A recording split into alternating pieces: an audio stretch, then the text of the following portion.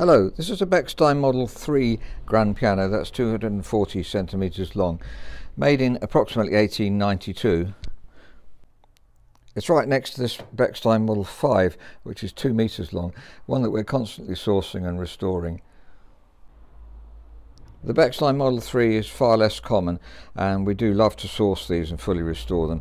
Um, it's a musician's favourite instrument or one of the favourite instruments for musicians and certainly for myself I love the tone and the action on these pianos. And we featured one recently that we compared with the Bösendorfer Imperial. Obviously that's a longer piano so uh, not so, not quite as rich as that but the, the rich tone of this piano both generally because the soundboard is, is bigger on a, a, a larger piano and also the bass obviously. If we just listen to bottom C here that has a very long string so therefore has a rich deep bass.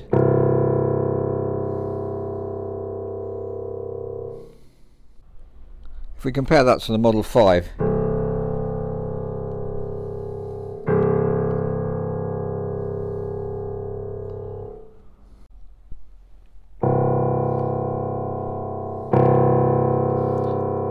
Of course the richness of the bass is not the only important thing on a piano. In fact, the most important thing is the, the melody area around here.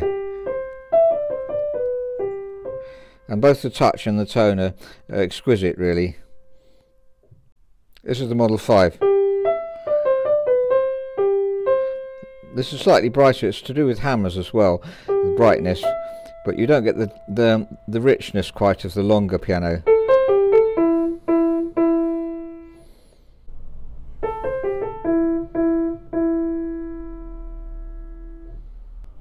So this is restored in exactly the same way as the Model 5, a new rest plank. We've done so many of uh, these Bechstein Grands because we're particularly fond of them.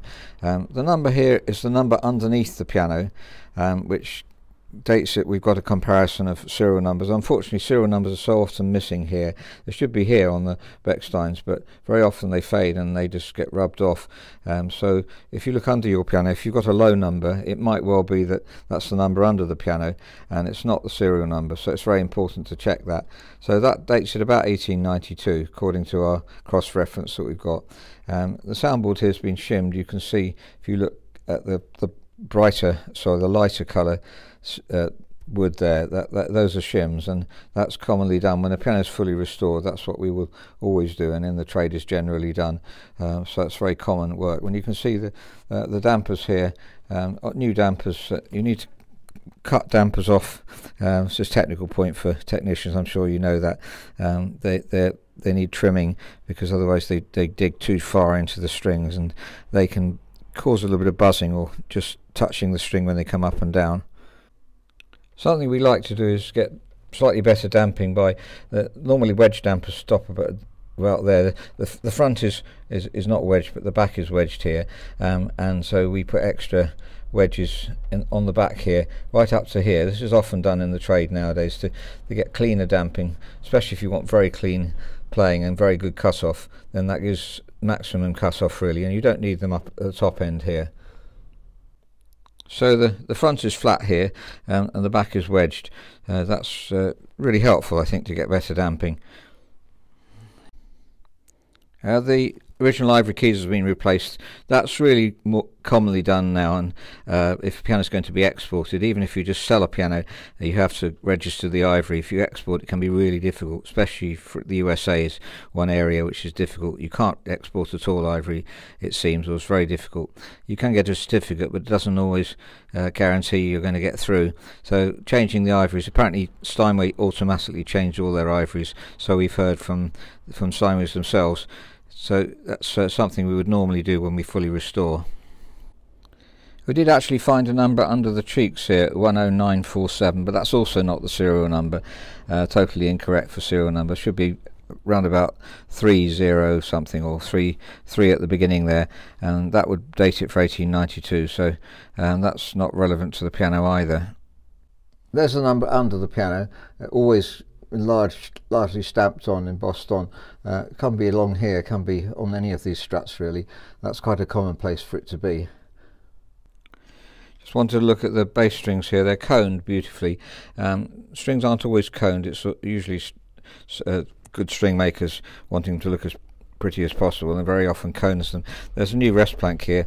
Um, just wanted to admire this a bit, the, the work that's been done by technicians. Uh, really appreciate that. And my job's usually just to finish it off, make sure it's, well, initially to say what we'd like done on the piano, and then uh, to just finish it off, make sure the damping's very clean. Which it is. There's very, very little to do on this one. Now it's come to the showroom.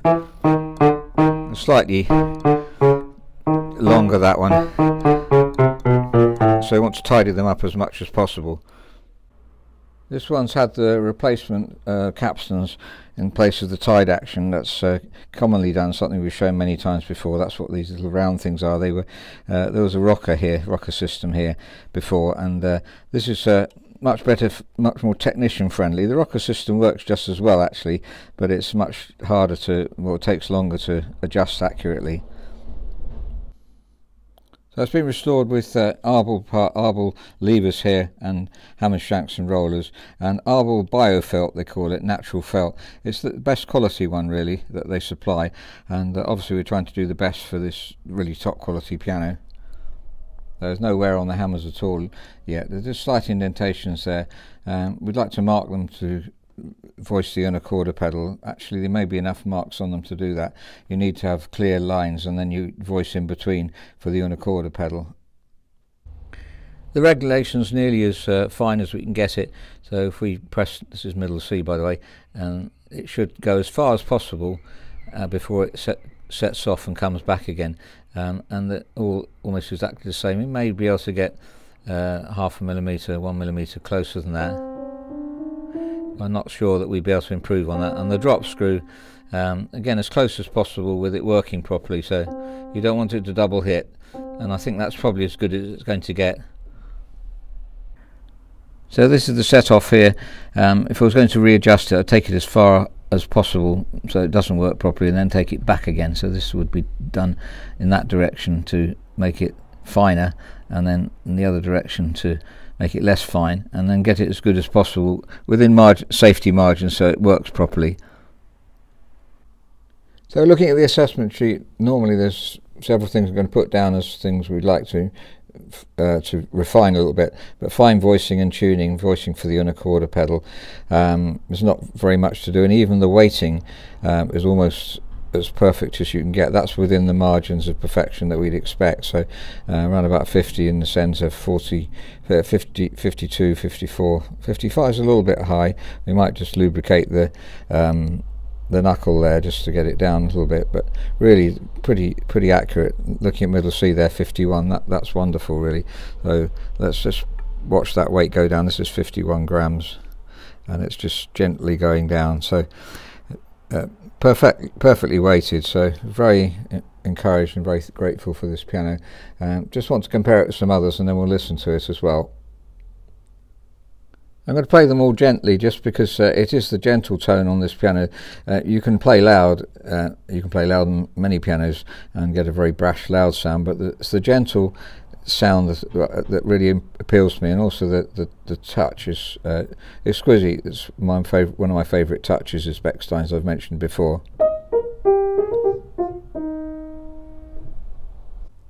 This is the Model 5. And here we have a new 48179.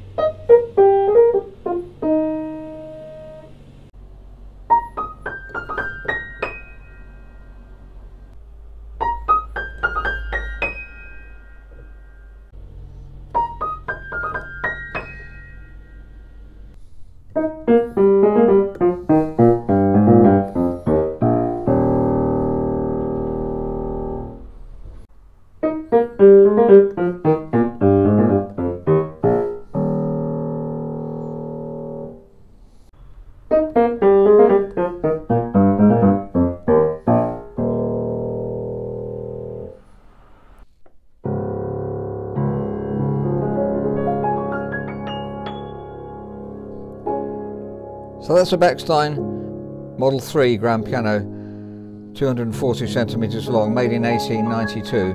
Now this period of Bechstein is particularly special really.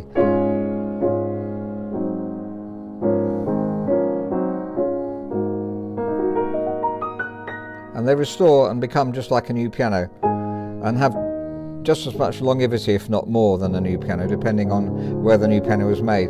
So West German pianos are so well made really so um, you can have total confidence in these.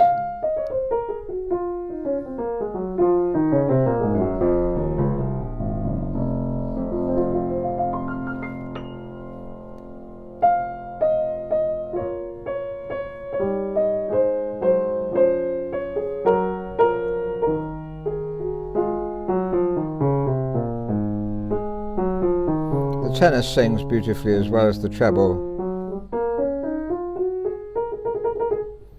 And very sensitive and fluid action.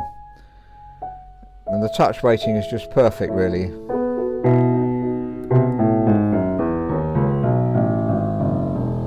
And of course extremely rich bass.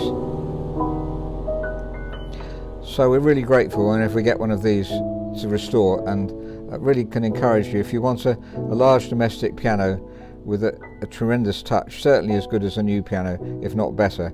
I believe that very strongly, and the touch on these older Bechsteins, if when they're restored, is, is as good, second to none really. And I'm playing gently now, just to show you what sort of control you can get. By the way, there's plenty of leg room here, I didn't mention that before, and also the pedals are low, so if you're a tall person, you could actually increase, if you want to do the, car the caster, sorry, put car caster cups under the casters and increase uh, the legroom, but there is already plenty of legroom, uh, and the pedals are low, so your angle on your feet isn't too great.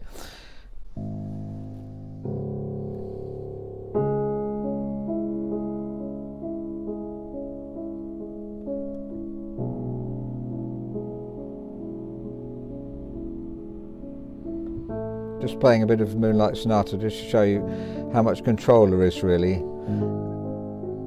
and how much you can rely on the action.